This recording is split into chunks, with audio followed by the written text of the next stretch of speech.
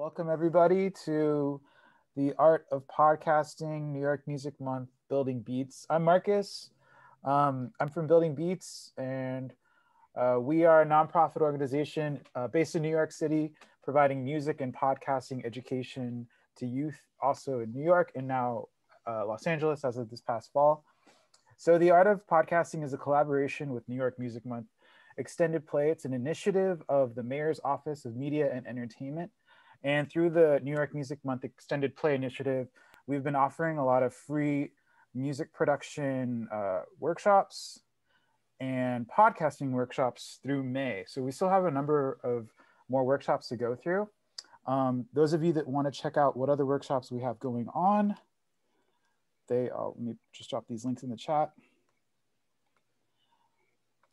You can visit our website and you can visit um, Explore the Beat is more catering to music production, and then the art of podcasting is uh, podcasting. We've already had two workshops in the past. We had one with uh, Jules Dotson on interviewing uh, two weeks ago, and then um, we had the first one just on basic, you know, podcasting 101 with Nina uh, Pollock. So those are archived on our blog. You check those out, and also on our YouTube channel. Um, so today we've got a workshop on getting good tape. And during this workshop, we'll get the rundown of how to record, um, including how to choose the right microphone, audio recorder, levels, recording out in the field, and lots, lots more. And we, today we've got Pierre. Um, and Pierre is a senior podcast producer at um, The Recount, and he's worked on podcasts for DigiDay, Slate Bustle, and a bunch more. Um, thank you, Pierre, for joining us today. Sure thing. Thank you so much for having me. Um, so Pierre, the floor is yours. Um, he'll be walking us through this. Take it away, Pierre. Thank sure. You. Thanks again, Marcus, and thanks, Sarah, and uh, thanks to everyone else at Building Beats who who's making this happen. Um, and thanks everyone for joining just to just to watch. I know that you could be anywhere in the world right now. There's nothing nothing stopping you from doing that. So you've decided to be on this Zoom call to learn a little bit more about how to record some podcasts from the comfort of your own home which is where um, you you probably are right now. So um, so yes, getting good tape, and here we have some actual physical olds. I'm assuming magnetic tape in in our in our logo for um for the session. Um, so you know this this series is kind of we're going to talk a little bit about um presumably the kind of podcast that's kind of a conversation. You know perhaps you're interested in talking to one person about uh, whatever the topic of your podcast is. It's an interview podcast maybe one-on-one maybe two-on-one interview maybe you're interviewing more than one person. But either way you want to be recording yourself and them in, in a certain degree of quality the highest you can get and and you know make things comfortable in the moment too while, while, you're talking to them. So there are a whole bunch of solutions for that and they existed before the pandemic but of course now they're seeing a whole bunch uh, more attention so um and business. So here's here's the big thing you know uh, there's a little bit of a how it used to be thing which was this.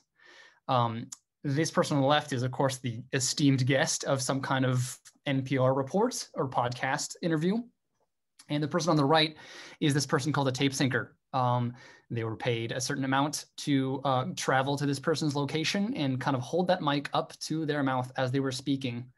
And uh, the idea was to get kind of a local high quality recording. Maybe the reporter couldn't go here themselves. Maybe this guest couldn't travel out of you know the, the confines of their city to go uh, do the interview. And so they were like, you know what, we can just kind of talk to you. We'll record the you know the phone interview, of course, but we'll also have someone recording you in high quality here with, with a nice field microphone that she's that this person's holding. Um, but of course, uh, now we're kind of more uh, this kind of life.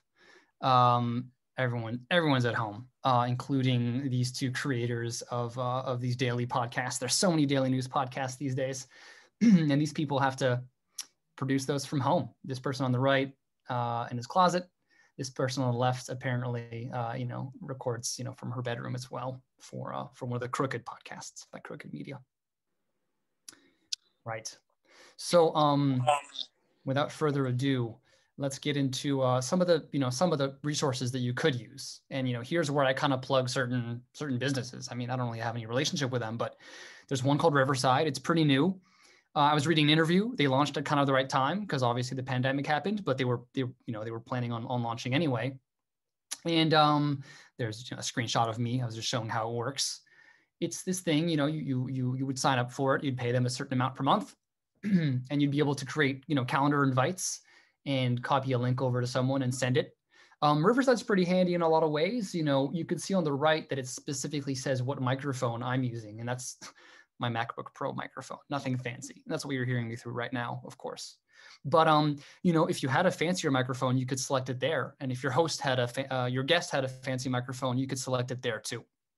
And then you could hit start recording and and make it happen. You know, whatever of these services you use, you'll obviously want to troubleshoot it with maybe a friend who's willing to spend a bit of time just saying hello to you um, over over video. You know, it's basically like a Skype call. It's getting recorded in high quality, right? So this one's called Riverside. You can go check it out at riverside.fm. This one's called Remotely. Um, I'm using Remotely these days at work. It works well enough. It has maybe fewer fancy features than, than Riverside, it seems, but it also looks to be more reliable. And I'll take reliability over fancy features, you know, just about any day, because I want what I record to actually get recorded. And the cool thing with this, with both of these, Riverside and Remotely, is that once you're finished recording something, you have the audio file. Your guest doesn't have to send you anything at all. They're done. As long as um, you know, they have to like hang out in the in the room for a minute or two for their audio to finish uploading, and that's it. Um, and then of course, beyond remotely, we also have Zoom itself, which we're all talking over now. And if you use Zoom, I would just advise you to do this. Open the preferences by hitting command comma or, you know, file preferences. Go to recording and check that second box from the top. You see that one? To record a separate audio file for each participant. Oh man, you really want to check that box because um, having that is, is a luxury, right? You have a separate audio file for you and your guest. That means if you're laughing obnoxiously while they're saying something very important, you can just in post processing, you can delete yourself laughing or you move it around, whatever right? So there's that. Um, Zoom works just fine. It's, I don't know, also not, you know, purpose built for podcasting the way that uh, Riverside and remotely are. But but Zoom is Zoom, and everyone has it uh, apparently, and no one's you know gonna be like, oh, Zoom. I'm, I'm not sure how that works. So yeah, and again, you just want to test it. Um, always, you know, all these have a record button, and you know, kind of goes from there. And of course, with Zoom, another advantage is that people can actually use telephones to call in, right? Um, here's kind of a list of, of those, those dial numbers, but you can do your own research. But the point is, if someone doesn't have a computer or access to it, they can still call you over Zoom. You can still record it that way, which is nice. So here's the thing. Um, back to this image of a tape syncer. These days, this person on the right probably could not be paid enough money to, to risk sitting in front of a stranger without a mask um, I'm thinking way closer than six feet apart on this, right? So that doesn't really work anymore. Um, so what we want to do now, what people are doing a lot in podcast world and radio world, even NPR, and they were doing this before the pandemic too, was something where they make their own guests tape things themselves. So this person on the left, instead of speaking into a, a microphone, they would perhaps use their smartphone, which many people have, and they would record themselves. So they would both be holding a landline phone or, you know, speaking into a computer, and they'd be recording themselves like this. Uh, and I've, I've linked, you know, I've sent Marcus, and I think he'll share it around, a link to this video by Aspen Public Radio. Super useful. You can see that that video was made seven years ago. So indeed, this is way before the pandemic, right? And um, it's a neat little video you can send to guests being like, hey, um, I'm hoping you could record yourself locally and then send me your audio file and I will pair them up and it'll sound great right? That's the whole idea. And this, um, you know, some people are curious, and you can, if they are curious, you say, yeah, in the business we call this a tape sync. And what I always tell people is that it's a, a very low tech but a very elegant solution, right? Because you have you'll have two pieces of tape, two recordings resulting from that. You'll have the one from their actual landline. It's going to sound like a voicemail, which sounds fine, and I, I hopefully they're going to have something that sounds a lot better. Um, anyway, there's that video. So and it's funny, people will, your guests will often ask you, they'll be like, oh, so am I recording this with my iPhone? Is am I, am I doing that as a backup? And then that's when I always tell people, well, really, the landline is the backup. I want the high quality stuff. This is going to be my primary. So if you could please turn off, you know, a fan, close the windows. If you have a dog or a cat, if they could be in another room, that would be great. Uh, it's all about being, you know, polite and uh, polite but persistent, you know, about about sound quality because um, whatever you can record in higher quality is going to save you a, a, bunch of headaches, right, in post. And when I say in post, I think you know what I'm talking about. It's editing an interview, you know, in Pro Tools or Audition, something that kind of looks like a, a uh, fancier version of GarageBand, right? Um, this is something I send ahead of time to people. Uh, this radio podcast person, Andrew Norton, made this graphic and um, yeah, I, I, email this to all of my guests ahead of me interviewing them, you know, or of my host that I'm working with interviewing them. It's kind of a, you know, really clear idea of like how they're going to use the phone. I want, you know, I'm telling them I want them to record themselves uh, in as quiet a room as they can. And then, um, you know, put themselves in airplane mode so that if they get a phone call, it's not going to get interrupted, which is a bummer. And then uh, when they're done, hit stop, send it, blah, blah, blah. You can see at step four, by the way, I cut it out here there is a step four usually, but I kind of didn't like it. It was it showed a photo of someone holding the, the phone up to their up to their their mouth and speaking into it that way. And eh, you know, the Aspen Radio suggests something different, which is uh, to put it on that stack of books over there. That's their suggestion. You know, um, here's my iPhone, in fact. And over Zoom, I'll often do this. I'll spend five, 10, maybe even 15 minutes talking to a guest before we record. And I'll say, yeah, please do join us from a quiet room. Uh, turn the fan off if you could. Thank you so much and go to voice memos, go to airplane mode, and then if you don't mind, kind of put the phone on a surface near you with the home button facing you, because that is the part that's recording. Lay it down flat, don't touch it while you speak, because it might rustle on the other end. Hit record, and, and then and then we're going, right? Um, can go back to this. And then here, I mean, you know, I'm, I'm being a little bit in the weeds, but here's an email that I sent to people before I interview them or to have my host interview them, right? Because uh, when you're producing, you, you know, it's kind of like in a lot of work. You're often saying the same thing to different people over and over again. So I, yeah, once I have that smart email that's polite and, and detailed, I'm gonna copy paste that thing to everyone, right? They don't need they don't need to know that I'm that I'm not typing this thing out for the first time every time, right? Save my saving my fingers and, and my time. So and I, again, I'm happy to send this around. You can kind of use it. It's you know I put that image in there and I explained to them. Because here's the thing, like, you know, if someone knows in advance that you want to do this whole tape sync thing, then they can maybe plan ahead and be like, okay, I need to be in a quiet room. Uh, that maybe changes when I'm willing to speak to this person, all of that. And that's of course going to help, right? And um, yeah, you know, if your guest offers to do certain things that would lead to higher quality, I would say accept, say thanks and accept. When they're saying, oh, I could go to this other room that's quieter. Um, what do you think? Well, some producers would say, eh, it's fine. We could just go. But no, not me. I'm going to go, oh, yes, thank you so much. I, if we have time, then yeah, let's do it. You know, if they, if you even have a, a, lot of time and they say, well, tomorrow there's no one with a lawnmower outside. Uh, maybe we could do this tomorrow then. Well, you know, it's kind of between me and the host and whoever I'm working with. Like, does tomorrow work? Then, then yeah, let's do it tomorrow. We're not going to, we're not to sacrifice um, quality for, you know, doing things like super, super fast. Right. Um, and then yeah, uh, Marcus and Sarah, I'm not sure. By the way, I'm happy happy to field any questions at all, or uh, or to keep going. Yeah, if anybody has any questions, feel free to drop them in the chat. Otherwise, uh, or ask them out if you prefer that way. Um, otherwise, Pierre will continue on. Let me know. Don't be shy. It's all good. Mm-hmm. Um, yeah. I don't see any coming in, but uh, no worries. Know, Pierre. Yeah. Until then, um, this is uh, this website called Transom. Uh, by the way, Transom is where I found that photo also of someone holding that microphone, right? Transom is a great website. Um, is it .com? Is it .org? I forget. .org, I think. .org. .org. Thank, yeah. thank you, Marcus. Yes, it's it's fantastic. It's a resource for people like you who are curious about podcasting. It'll have all kinds of guides and how-tos on on everything, you know, for for podcasts and radio. So so check it out. It also includes um, from a, a few years ago this uh, this part of the tape sync thing, which is hey, if there's anything you could turn off, that would be sweet. Um, is a dog barking? Is a refrigerator buzzing? A clock ticking? Is there a lot of traffic noise? All that stuff, totally worth addressing, right?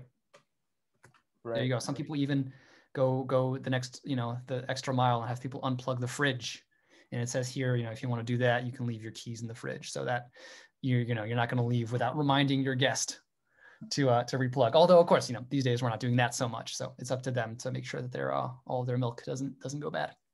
Um, Two questions, Pierre. Yeah, Marcus. Um, somebody asked, Uh, can you do this directly with Audacity and an interface on Loop? Sure. Okay. So here's the thing I would say. Uh, one, I mean, I'll, I'll be super honest, right? I'm totally not an engineer. I'm a podcast person, and we're actually going to talk about what I mean by that difference uh, in, in kind of the next section. Um, as for using the the software called Loopback and and record, yeah, any way that you could record the Skype call, of course, it's going to be yes, I suppose, just one file as opposed to two separate ones, which is too bad unless you're unless you're totally cool with that. But um, it is nice to have that control. You know, what if one person's voice was a lot quieter than the other? Well, then no problem. You have the two different, two separate tracks. You can just boost them, and that's that's that, right? Super easy. Um, but um, I would test whatever it is that you're curious about about doing. Uh, the thing is, too, though, compared to remotely and, and Riverside, which I, I, suppose are the paid options that I've listed, uh, Zoom is, is seems to be free up until uh, you know 40 minutes of use in, in one call, and even then, you can just leave and reconnect and record some more. Uh, and you can even pause recording on Zoom, which oh man, Riverside and and uh, and uh, remotely don't have that. You have to stop a recording, start a new one, and you get one whole new file per person who's speaking. Um, so, but uh, and to, to, just to go into a bit what I was saying earlier, I was saying, what if you you know if you were just recording yourself then? And the reason I say that is because this whole tape syncing thing. Well, if you're a, a big part of the interview, then hey, you want to be tape syncing yourself too, right? Um, that's that's the kind of the idea. So what you would do maybe is uh, indeed just grab some stuff. You would have um, you know, maybe your, your microphone. This is an SM58 by Shure. It's a hundred bucks. It is, you know, an industry stalwart. It has a reputation for like never breaking. Apparently you can drop it on the street and roll over it with a truck and it will still work. Um, and people do it for music too. It's, it's, it's a great microphone. It's, it's entry level, but also, you know, solid throughout. Um, so if you had something like a microphone yourself, you'd probably want to, um, to record that too. Um, and you could certainly do that straight into Audacity if you have a hard piece of hardware audio interface, right? But um, but then you know you'd still I, I don't know if you would if you would then be getting well you would be getting just your voice if you were wearing headphones. That's that's a big thing with tape syncs, in fact. And I have it listed here in this. Uh, let's see, in the email I send, right? I say for this to work best, you'd have to join the call with a computer and headphones. That's a third line in my email that I send to everyone. Why the headphones? Well, the headphones are, are for this reason. It's not for me, right? It's because I don't want their voice leaving my computer, or I don't want my voice leaving their computer and going into the room they're in and into their iPhone or their microphone that they're using to record themselves locally, right? I want just them speaking into that, that microphone. So the headphones really aren't for their sake of hearing me better. They're just so that, you know, my voice doesn't pollute the air around them. And then same thing, if you were recording yourself into uh, a microphone at home while speaking to someone um, in order for that to be a really clean take of just you speaking. Um, you don't want to wear headphones and plug those into the computer or whatever so that you're stopping that sound from going right into your microphone, right? Because that way, if you're speaking, and again, if they laugh and it leaves your your laptop speakers, which aren't very high, you know, it's not great quality, right? And their laugh goes into your mic while you're speaking, eh, not great. Whereas if you have two discrete, by which I mean separate sound files, that's like a luxury. It's a great thing to be playing with as a, as a sound person. And, and you know, in Audacity, you just have two tracks. I would give I would give whatever you like, you know, a shot. And I would think that for the free option, I would probably give Zoom a shot. It's got that that box you can just check that says record separate, you know. Um, Thank you. Last, uh, yeah, sure. And the last thing on that, actually, so don't forget that what, what you would get at that point is you would get two little, you know, sound files from Zoom, and then ideally you would have one tape sync from your guest and one tape sync from you that you recorded locally. And you would line those up with the waveforms that you got in Zoom. And then you'd be like, cool. And then you would mute the tracks that the Zoom is on. You would just use the iPhone track and your mic track. And then, you know, then you'd be in business to start editing. Cool. Yeah. Sorry, I don't, don't have that much focus on on post processing kind of in this in this um, session because we're talking about getting good tape, right? But that's a whole other thing as well. Thanks. Um, yeah, there was another question. When downloading a Zoom interview, where are the separate audio files? Oh, sure. Let's see here.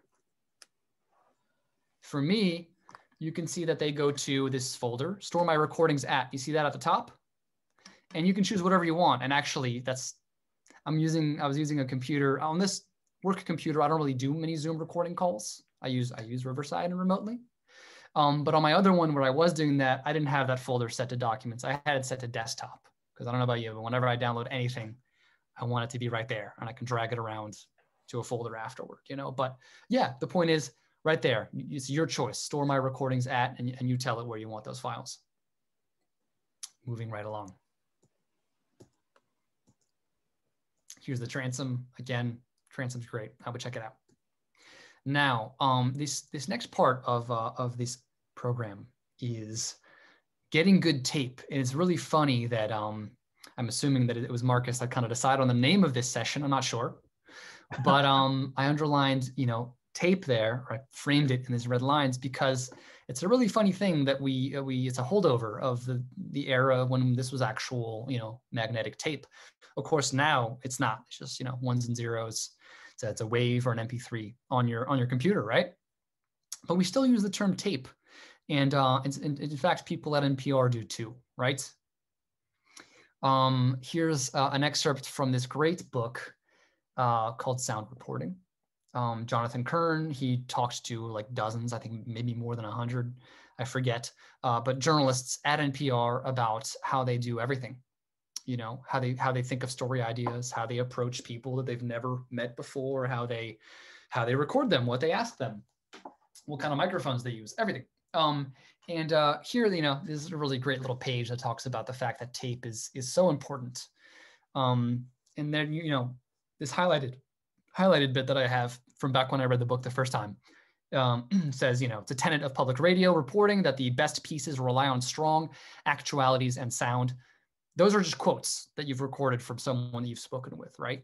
So really, you know, getting like really expressive bits from people is is is the biggest thing. Um, so you know, it all depends on what it is that you want to do. I would assume that most people who are on this call right now, uh, that they would want to do um, one-on-one conversation, that kind of podcast, where uh, you know it's a podcast about movies and you talk to people you know, or directors or anything like that about movies. That's just a, a more direct approach, right? You have, in the end, you're going to have two sound files of roughly equal length. They'll be perfectly of the equal length in the case of Zoom or Riverside or remotely. You can pair them up, do some editing, some processing, and kind of that, that's it, right?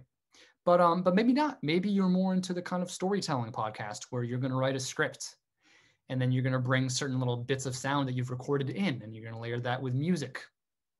Um, you know that's the kind of thing that you've heard on you know this american life or Radiolab or uh, a lot of npr podcasts or all kinds of narrative podcasts is usually what we call them a narrative podcast that tells a story. And of course i'll be honest you know it's a lot more work that goes into that. I mean well i don't want to generalize too much. Plenty of work can go into a conversational interview podcast as well plenty of preparation.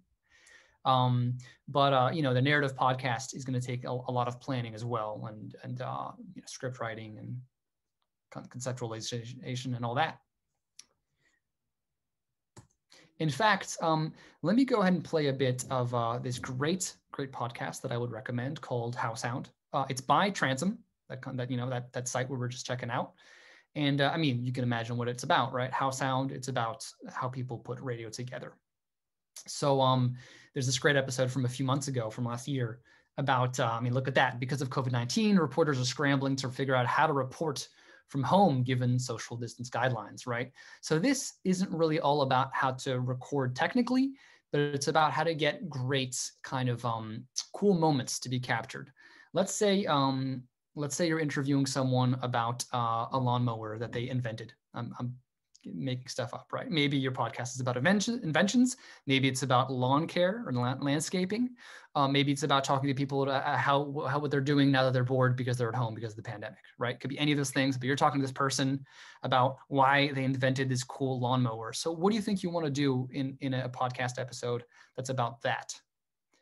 Well, anyone who works at NPR is going to tell you we want to hear that lawnmower, right? We don't just want to talk about it I want to hear this person pull the lawnmower out of their garage and you know roll it down the driveway and then onto the lawn and then maybe do some mowing if that's not too loud, right? Of course you want to hear all that stuff. So um, but how do you do that in the middle of, of a pandemic? Um, well, I'm going to have you listen to uh, two bits of sound um, I'm not sure what, uh, yes, let's see. Just a test, Marcus and, and Sarah, you can tell me, can you still hear this? Yep, you can hear it. Great, great, great. In that case, I'm going to play a bit of this podcast episode a few minutes in. And uh, the host has just asked, you know, someone about um, a reporter about how, how they do things and how they how they record great sound of people doing things in their homes. I think we're going to listen to just a couple minutes of this, and uh, and then I'll and I'll be back. I rely a lot on being in the room with someone and and you know looking at them face to face and just being there, being present. Um, and without that, you really do have to to work harder to get them to open up um, and be more themselves and and you know be a little bit more emotional on the phone. Okay, so what if you don't have video to pull from? How do you get scene tape then? Well, that very question came to mind when I heard a short scene in a story about giving birth at hospitals full of COVID 19 patients. I was doing the story and thinking, this is going to be so flat if it's just a bunch of talking head doctors talking about this incredibly intense emotional experience, which is having a baby. Sasha Pfeiffer is a reporter for NPR. For the story, she interviewed a pregnant mom over the phone. As I was interviewing this woman who was about a week away from her due date, I thought, if I were with her in person, what would I be doing to make this come alive and to make the listener feel like they were there? And what I probably would have done is said, Can you show me the nursery you set up? And when I went to the nursery, I would have had her sort of describe the art and the furniture. So that's what I did. At Lauren and Daniel Harrigis's house in Sarasota, Florida, they've been doing some redecorating. This was our old office, and now it's our nursery. So we have our changing table and our crib, little dresser, and all the cute art we could find laying around. Here's how that recording went down technically. Basically, Sasha asked the woman to stay on the line, but grab another phone, turn on the voice memo app, and start recording. So she's walking around the house with two phones. yes, exactly. And I've done this many times and it works really well. Um, did you give her any other instructions? Like, did you have her check the battery life on the phone or how much space there was to record audio on the phone? I didn't have her check battery life. I assumed that they would be keeping a general eye on that on their own. I did say to them, if we talk for much more than 20 minutes, I'm going to have you stop recording and start a new file so that it doesn't get so large that your email system has trouble sending it. And then I really say to them, pretend I'm next to you, you know, point out to me, describe to me. I, I try to make it feel like we're together in the room. There was another case where I was talking to a new mom and I was thinking, okay, well, I probably want to see the baby. And I said to her, Can you tell me what your baby looks like? So she actually crept into the little bedroom where the crib or the bassinet was. And you could hear her turn a lamp on by turning a little chain. Here she is. She's asleep.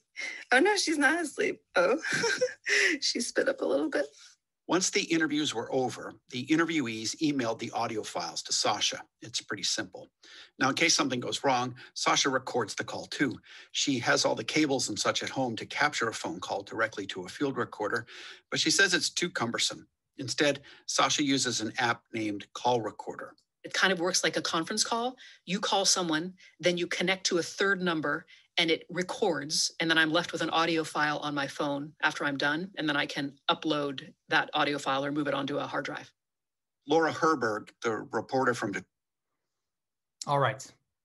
So uh, i started that that you know that hitting play a little too early but you got to the point where she was talking about how does someone report on people giving birth in in you know in hospitals uh, despite the fear of COVID um, and how they're preparing for that at home and all of that. And uh, yeah, the, the big thing that they did there was say, well, I'd love for you to talk to me on the phone, but uh, while you're at it, if you could kind of show me around your home and how you're preparing and, and have another phone running with voice memos on and pretend I'm there and describe things. Um, and of course, they were talking to them on the phone the whole time so they could kind of ask for them to describe things. Uh, yeah and then they got great sound that way you know um, stuff that you wouldn't be able to get in just a simple phone call with someone just talking about stuff right? So um yeah this is basically a way of doing field reporting um, from from home a little bit. Uh, this episode which i would listen to if i were you and HowSound has all kinds of great stuff about radio they also say you know well well would you want to tell people that are listening to the podcast that like oh just so you know this person did they were the ones recording this sound. It wasn't me recording it. Yeah, you might want to do that. They say that, that you know it's a good thing to disclose. I mean, it depends on, on what kind of you know journalistic kind of approach you're, you're going for. But um, in, in my work, you know, it's it's journalism, and, and certainly I would want to do something like that.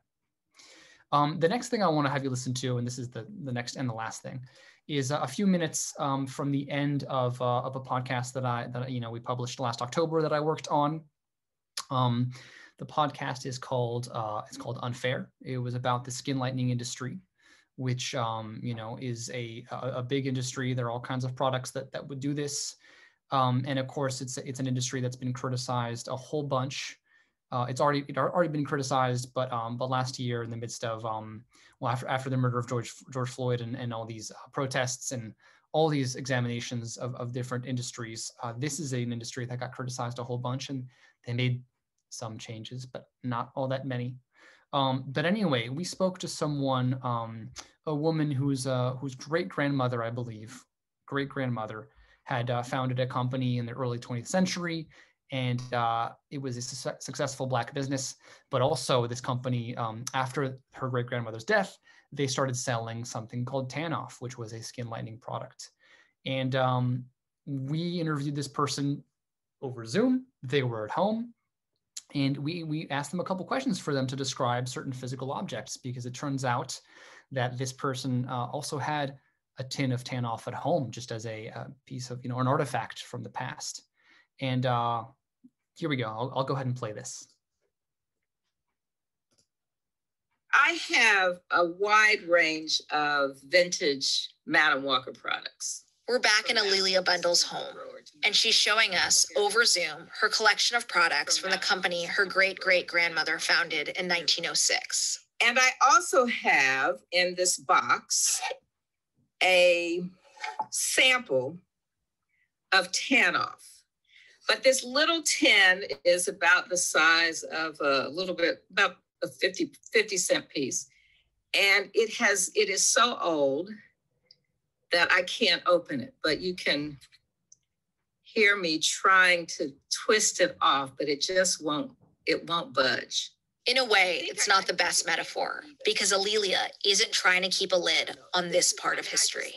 This is something that I sort of put at the back of the drawer. It is, it is, I really hate this thing, but I think it is a part of history and it is something that I should recognize that was sold by the Walker Company, but not during Madam Walker's lifetime.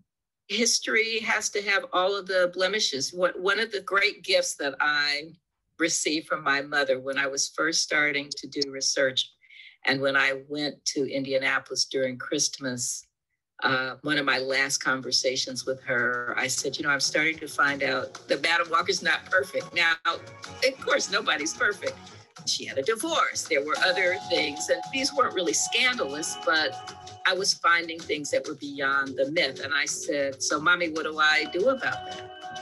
And she said, Tell the truth, baby. It's all right to tell the truth.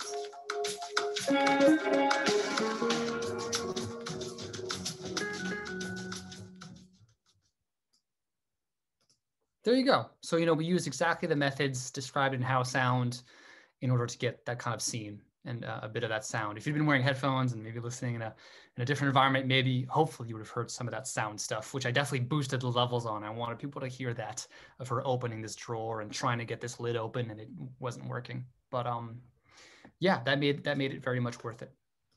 Um, Pierre, we have another question from Royalty Nia.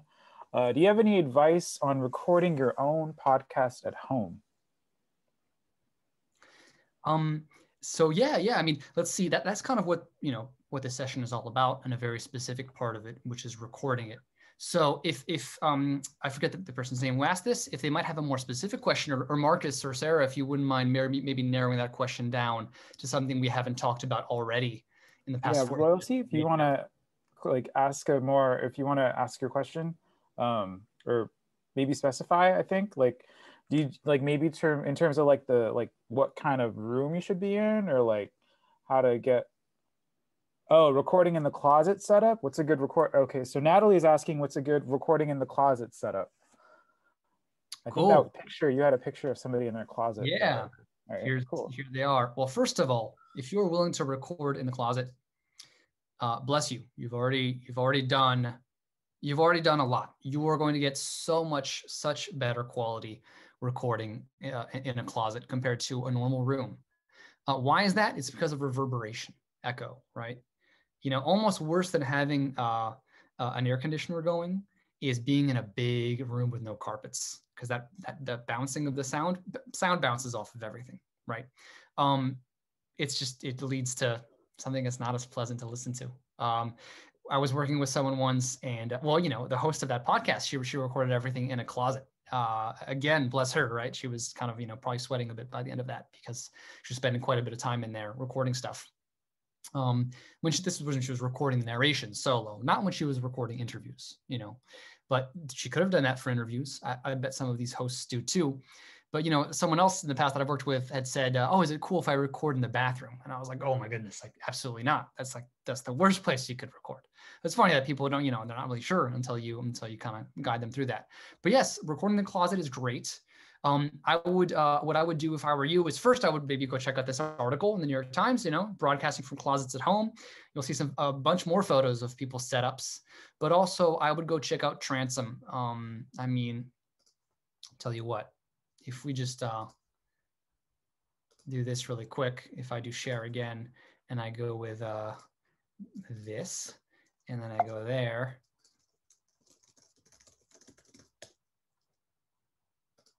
the first Transom article, look at that. Again, you're gonna get great tips. Look, they have this audio interface, it's the same one I have. And it's actually, hers is a bit of a newer version, so I'm jealous of that one. But yes, they this is little foam cube with a USB microphone. I'm sorry, not a USB microphone, a normal microphone. Um, you'll get all kinds of tips on that. Under the under the blanket, that's another way to do it. But uh, Transom will, ha will have the answer for you on how to do that. Great thing to check out. Recording by Freeway, any tips? uh, Someone's asking, uh, recording yeah. by Freeway, any tips? Oof. Uh, and there's sort of consistent white noise. Again, too, what's a good setup for recording in a bedroom? Yeah, I think that link, I'll, I can repost that link that uh, Pierre just posted for those of you with all the tips. But mm-hmm. what I would say, by the way, about recording next to a freeway, uh, if you have to, uh, is that what you should do um, before and after the interview, you should go ahead and, and uh, record some of the white noise from your microphone of just you not speaking into it, just the, the, the mic recording the room and the sound that's around. And you should do this regardless of whether there's a freeway near you or not. But that way, it's going to capture a certain amount of, um, of white noise from the freeway. And you'll be able to use something like Audacity to, um, to make it learn what that sound is and try to remove it. Audacity, which is free, uh, right? Audacity is kind of like GarageBand. It's, it's, a, it's a DAW, a digital audio workstation for post-production mostly. Um, we're not really getting too much into that, but it's free and it's good. It has a very good noise reducer where what you do is you highlight a second or less even, but you know, you can highlight a moment of white noise. And then you can tell it, hey, that noise, I want you to reduce it. And it's really good at doing that. So you can do that with the highway noise. Um, but someone mentioned a, you know, a shield, a mic shield. That's, that's, that's good yeah. too. That's just like uh, in that transom thing, you know, kind of a box, basically a shield. What is the best microphone if you are recording yourself, USB or the other type that requires an adapter? Great question. Um, you know, if, if, if you're a beginner, even if you're not, I would say you can go with what's comfortable. You can start off getting a USB mic. You know, I've heard that the, the Blue, uh, the company Blue makes the, the, the, I think the Yeti mic. No, the company Yeti makes the Blue mic. That's what it is. And apparently that's you know that one's great. It's certainly going to be better than you just you know speaking into zoom and recording that way. Um, it's definitely going to be better than recording on your iphone right? But um of course if you get this kind of uh mic instead and azure probably knows this but um i'm kind of going to kind of explaining your question to some people who might not be familiar. It's uh right a usb mic of course is going to plug into any computer via usb um because it's going to have you know this USB end. But of course, what if you have instead a, uh, you know, a real studio microphone that on the other end doesn't have USB? And the reason it doesn't, I think, is because of the amount of, of voltage or of power, right? Going through that mic. It's not just going to go into USB. Instead, it's going to have this, an XLR ending. is a typical typical microphone ending, right? So uh, how do you make this happen? Well, you do it through something called an interface, which which Michael uh, has asked about. Um, mine, for what it's worth, I mean, this is not you know, you don't need to, to think that this is the best one, but it's a Focusrite, just like the person over uh, at that Transom article had. It's a Focusrite. Uh, I think it's a two i two, two i four means two in, four out.